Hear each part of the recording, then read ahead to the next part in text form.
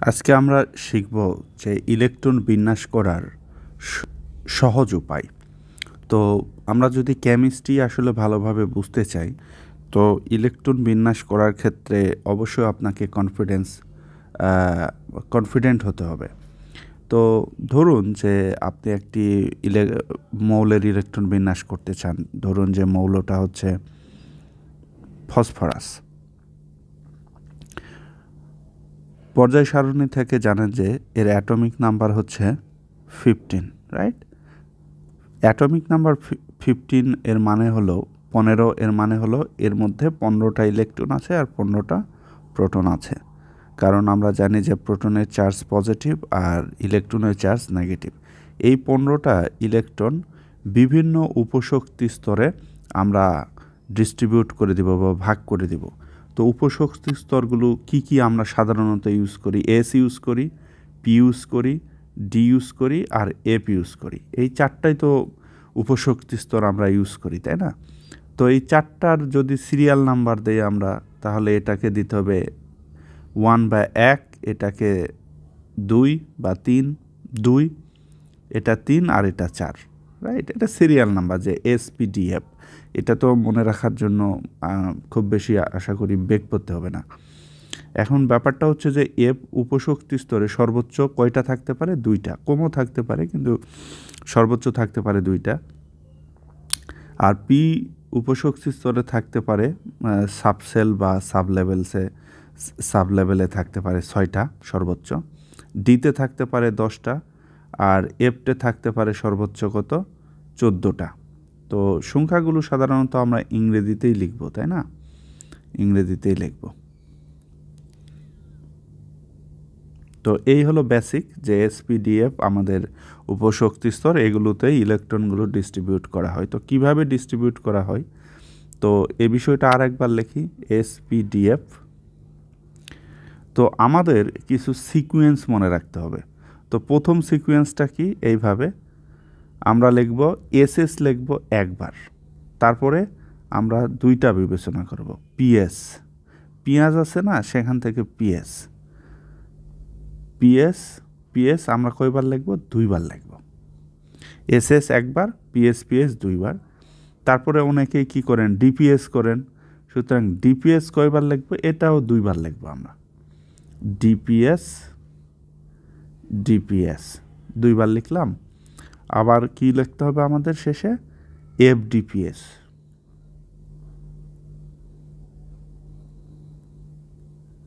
তো এফডিপিএস আপনি অসংখ্য বার লিখতে পারবেন বাট তাহলে আমার সাথে সাথে আপনি বলতে থাকুন S S P S P S D P S D P S F D P S F D P S F D P S again S S P S P S D P S D P S F D P S F D P S F D P S তো এই সিকোয়েন্সটা মনে থাকলে electron বিন্যাস করাটা আসলে আর কঠিন নয়। তো দেখা যাক, তো আমাদের কয়টা ইলেকট্রন আছে? পনেরোটা। সো দুই, চার, দশ, বারো আর তিনে পনেরো। তাহলে পনেরোটা ইলেকট্রন আমরা অলরেডি বসিয়ে দিয়েছি। সুতরাং এগুলো, এই উপশক্তি স্তরগুলো তো আমাদের দরকার নাই। এখন আমাদের এ স্টার্ট হয় কোথা থেকে? ওয়ান এস থেকে। তাহলে পরবর্তীটা এস অটোমেটিক্যালি টুয়াইস এস এবং তৃতীয়টা হচ্ছে থ্রি এস। আচ্ছা তারপরে আমাদের পি পি স্টার্ট হচ্ছে কোথা থেকে? টু থেকে। Two P then three P so this is the electron configuration of phosphorus তো অনেক সময় দেখা যায় না যে বক্স লেখা থাকে, সেটাকে বলা হয় যে orbital diagram of electron configuration so সেটা কীভাবে লিখতে পারি আমরা? এটা লিখতে পারি one S two S two P আচ্ছা পি যে উপশক্তি স্তর, এতে তিনটা ঘর আছে মানে এর মধ্যে তিনটা অরবিটাল আছে। তো তিনটা অরবিটালের জন্য তিনটা ঘর। থ্রি এস এসের একটাই একটাই হচ্ছে যে ঘর থাকবে এসের জন্য। আবার পি মানে তিনটা ঘর বানাইতে হবে। Three P. তাহলে ইলেকট্রনগুলো কি কি করতে হবে? দুইটা আছে ওয়ান এসে তো একটার স্পিন বা দিক দিতে হবে উপরের দিকে আর একটা নিচের দিকে। এটা তো দুইটা আছে, একটা উপরের দিকে, একটা নিচের দিকে। এটাতে ছয়টা আছে। তার মানে প্রথমে একটা করে দিতে হবে। তারপরে দ্বিতীয়টা দিতে হবে, কিন্তু মানে স্পিনটা বিপরীত দিকে দিতে হবে আর কি। তারপরে থ্রি এসে কয়টা আছে? দুইটা, সুতরাং বিপরীত দিকে দিতে হবে। কারণ একটা অরবিটালে দুই, সর্বোচ্চ দুইটা ইলেকট্রন থাকতে পারে, কিন্তু তাদের স্পিনটা বিপরীত হয়, অর্থাৎ ঘোরার দিকটা বিপরীত হয়। কেউ যদি ঘড়ির দিকে ঘোরে, তাহলে আর একটা ঘুরবে ঘড়ির বিপরীত দিকে। থ্রি পিতে কটা আছে? তিনটা। তোমরা যদি, আপনারা যদি এইভাবে দেন তিনটা হ্যাঁ তাহলে কিন্তু হবে না। আগে যেহেতু থ্রি পির তিনটা ঘর আছে মানে তিনটা অরবিটাল আছে, এবং প্রত্যেকের শক্তি সমান, এদেরকে বলা হয় ডিজেনারেট অরবিটাল তো প্রত্যেকেই আগে একটা করে অবশ্যই নিবে, জোর বাঁধার আগে, এবং তাদের স্পিনটা একই দিকে হবে হ্যাঁ সবাই যদি ঘড়ির দিকে মানে সবাই ঘুরলে ঘড়ির দিকে ঘুরবে অথবা সবাই ঘুরলে ঘড়ির বিপরীত দিকে ঘুরবে। তাহলে এটা হলো orbital representation of electron configuration of phosphorus এখানে কয়টা তাহলে আনপেয়ার্ড বা বিজুর ইলেকট্রন আছে? তিনটা। রাইট আর এগুলো সব পেয়ার্ড তাহলে ফসফরাসের ইলেকট্রন কনফিগারেশন কিন্তু বা বিন্যাস আমরা কিন্তু পেয়ে গেলাম। এখন প্রশ্ন হলো যে এই phosphide ion P three minus এর ইলেকট্রন কনফিগারেশন আপনারা কীভাবে করবেন? তো যখনই কোনো আয়নের ইলেকট্রন কনফিগারেশান আপনি করতে যাবেন, অবশ্যই সেটার নিউট্রাল অ্যাটম সম্পর্কে নিউট্রাল অ্যাটমের ইলেকট্রন বিন্যাস আগে লিখতে হবে। তো ফসফরাসের এই যে আমরা নিউট্রাল অ্যাটমের জন্য অলরেডি ইলেকট্রন বিন্যাস করেছি, ঠিক আছে? তাহলে ফসফরাসের একটা নিউট্রাল অ্যাটমের মধ্যে ইলেকট্রন আছে কত? পনেরোটা। আর এই যতগুলো মাইনাস চার্জ থাকবে, ততগুলো ইলেকট্রন যোগ হবে। তাহলে পনেরো আর তিনে আঠারোটা। সুতরাং এই পৃথিবীর ইলেকট্রন বিন্যাসটা কত হবে? আঠারোটার জন্য করতে হবে। তাহলে এই অতিরিক্ত তিন ইলেকট্রন কোথায় যাবে? একদম সর্ববহিস্থ শক্তি স্তরে। তো দেখো, দেখেন এখানে এসটা এখানে তিন নাম্বার শক্তি স্তর হচ্ছে আউটার মোস্ট বা সর্ববহিস্থ শক্তি স্তর। তো এখানকার এই সর্ববহিস্থ শক্তি স্তরের যে এস উপশক্তি স্তর, সেটি পূর্ণ দুইটা দ্বারা। কিন্তু পি যে উপশক্তি স্তর আছে, সেখানে মাত্র তিনটা আছে। কিন্তু পি সর্বোচ্চ নিতে পারে কত? ছয়টা। সুতরাং এই তিন, আর তিনটা এখানে কিন্তু যোগ করে দিলেই হবে। তাহলে তিন প্লাস তিন কথা হলো? সিক্স। সুতরাং এই ফসফাইড আয়নের ইলেকট্রন বিন্যাস এবার হচ্ছে এইটা। রাইট ওকে এবার আমরা আরেকটি মৌলের ইলেকট্রন বিন্যাস করি, সেটি হচ্ছে ক্রোমিয়ামের।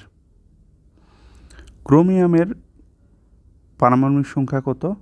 চব্বিশ বা টোয়েন্টি ফোর সুতরাং আমরা ওই সেই সিকুয়েন্সটা লিখে ফেলব, S S P S P S then D P S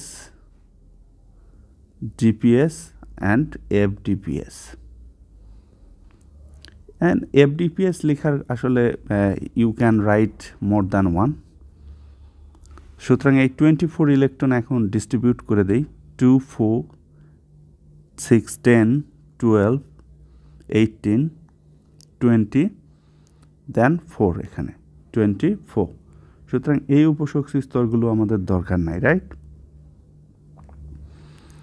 তো এখন নাম্বারিং করতে হবে। S start with one S then two S three S four S আচ্ছা P P start from two two P three P আচ্ছা D start from three three D এখন electron configuration ক্রোমিয়ামের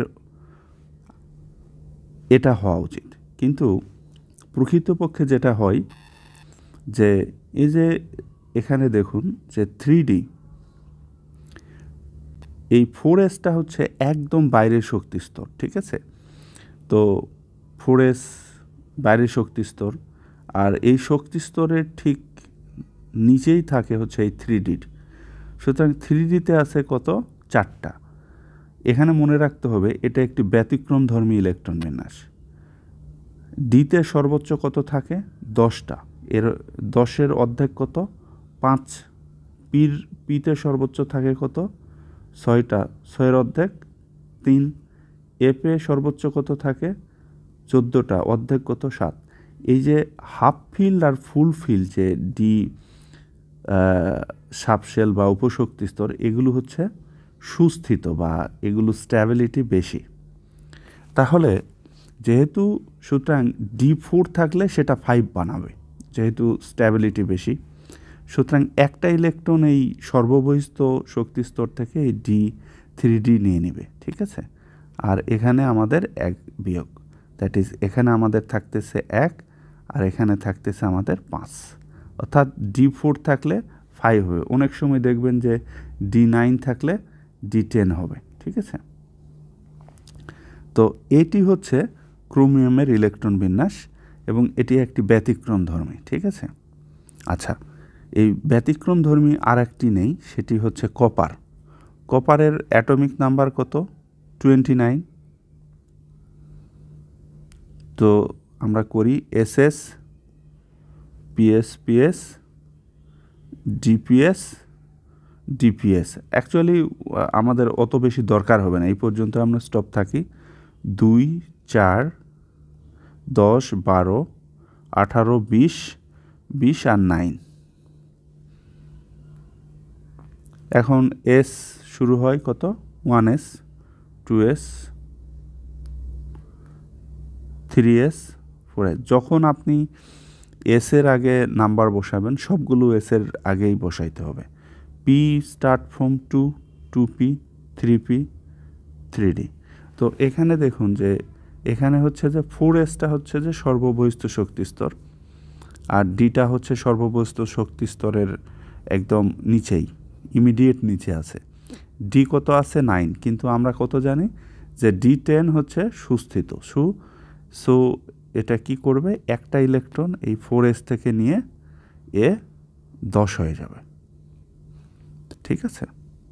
আচ্ছা এটি এটি হচ্ছে কপারের ইলেকট্রন বিন্যাস।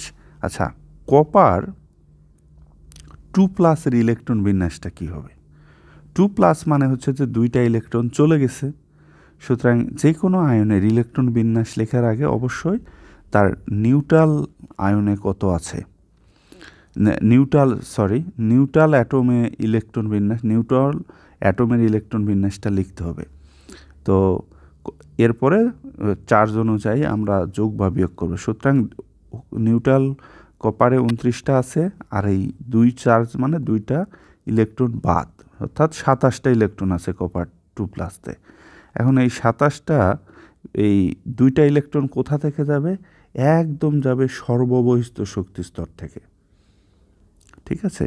তাহলে একটা যাবে কোথায়? এটা সর্ববহিস্থ শক্তি স্তর, একটা যাবে এখান থেকে, অর্থাৎ ফোর এস ওয়ান, এখান থেকে একটা যাবে আর এখান থেকে একটা যাবে। সেই থ্রি ডি নাইন কিন্তু ফিরে আসলো। ঠিক আছে? দুইটা যাওয়ার পরে। সুতরাং কপার টু প্লাসের ইলেকট্রন বিন্যাস হলো এইটা। আচ্ছা। আচ্ছা অনেক সময় এখন আমরা দেখব, অনেক সময় দেখা যায় যে নিষ্ক্রিয় গ্যাস বা নোবেল গ্যাসের যে নোটেশন সেটা দিয়ে ইলেকট্রন বিন্যাস লেখা থাকে। তো সেটা কীভাবে করে?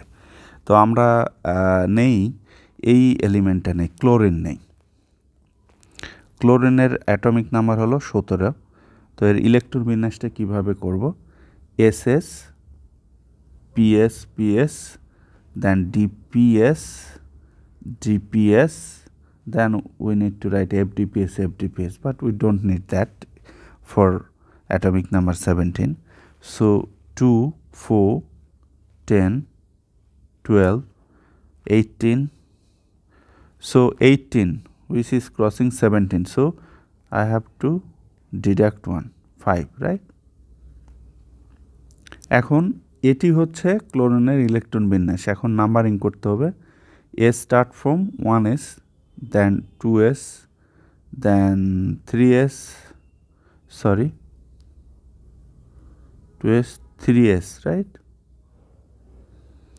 S S P S P S three S, তারপরে কিন্তু থ্রি নাই। তা P start from twice P three P আচ্ছা এটি হচ্ছে নিউট্রাল একটা ক্লোরিন নিউট্রাল একটি ক্লোরিন অ্যাটমের ইলেকট্রন বিন্যাস। তো আমরা নিষ্ক্রিয় গ্যাসের ইলেকট্রন বিন্যাসের মাধ্যমে নিষ্ক্রিয় গ্যাসের নোটেশন বা প্রতীকের সাহায্যে কীভাবে ইলেকট্রন বিন্যাসটাকে আমরা প্রকাশ করব, সেটি এই জন্য নিষ্ক্রিয় গ্যাস পর্যায় সারণীর এইটিন গ্রুপে আছে, অর্থাৎ মডার্ন পিরিয়ডিক টেবিলের আঠারো নাম্বার গ্রুপে আছে। তো কি আছে? হিলিয়াম যার অ্যাটমিক নাম্বার হচ্ছে টু দেন আছে হিলিয়াম নিয়ন যার অ্যাটমিক নাম্বার টেন তারপরে হিলিয়াম নিয়ন আর্গন যার অ্যাটমিক নাম্বার হচ্ছে এইটিন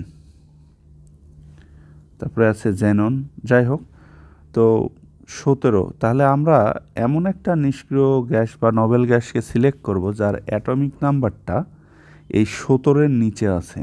মানে ইমিডিয়েটলি লোয়ার তাহলে আঠারো করলে তো বেশি হয়ে যায়, সুতরাং এটাকে আমাদের সিলেক্ট করতে হবে। তাহলে নিয়নের অ্যাটমিক নাম্বার দশ মানে দশটা ইলেকট্রন আছে।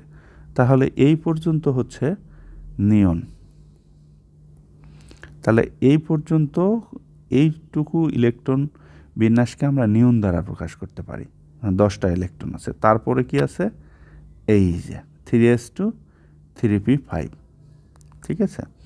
তাহলে এই যে এটা হচ্ছে নিষ্ক্রিয় গ্যাস বা নবেল গ্যাসের মাধ্যমে ইলেকট্রন কনফিগারেশন অফ ক্লোরিন এটাকে বলে, ইংরেজিতে বলে কি? Abbreviated electron configuration for chlorine or shorthand electron configuration for chlorine তো এই ব্যাপারটা তো এখন ক্লিয়ার অনেক সময় বলা হয় না যে যে এর যুজ্যতা ইলেকট্রন কতগুলো আছে। যেমন এর ইলেকট্রন বিন্যাস থেকে কিন্তু যোজ্যতা ইলেকট্রন বের করা কিন্তু খুবই সহজ।